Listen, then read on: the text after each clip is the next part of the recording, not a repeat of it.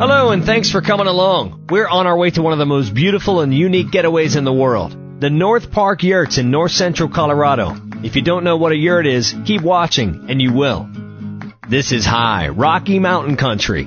It's an outdoor snow enthusiast paradise. This is world class terrain for everything snow. Alpine, tele, cross country skiing, splitboarding and snowboarding, snowshoeing, even snowmobiling. There's a good reason that Colorado Rocky Mountain snow is legendary.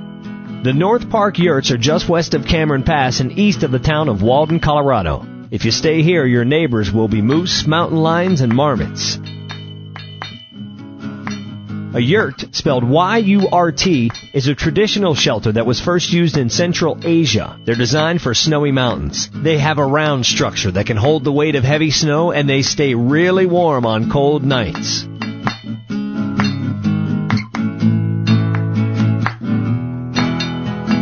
These beauties sleep four comfortably and can fit up to six for less than the price of most hotel rooms. The North Park yurts supply plenty of firewood and most necessary amenities except bedding. They have a very complete list of what they do and do not have at northparkyurts.com. Step inside the circular snow shelter paradise.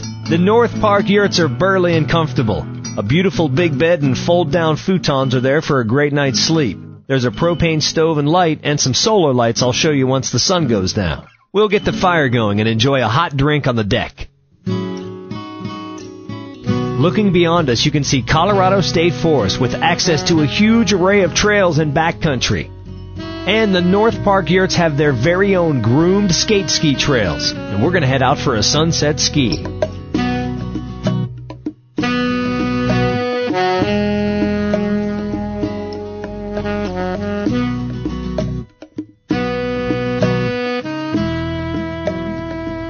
Now this is beautiful.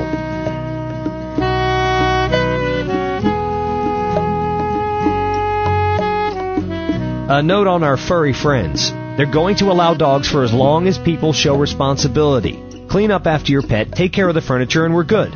Let's not let a bad apple spoil the bunch, because that is the sight of one happy dog. The North Park Yurts have limited special parking for snowmobilers, but it can be arranged. The Jackson County Road location is right near a snowmobile trail that goes all the way to Grand Lake.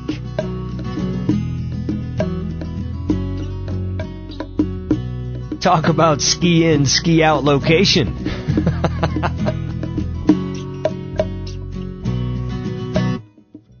Headlamps and batteries for the lantern can be good things to bring, but these solar lights do a pretty good job as well. Keep the fire going, enjoy some nice food and each other's company in the comfort of one of the North Park yurts.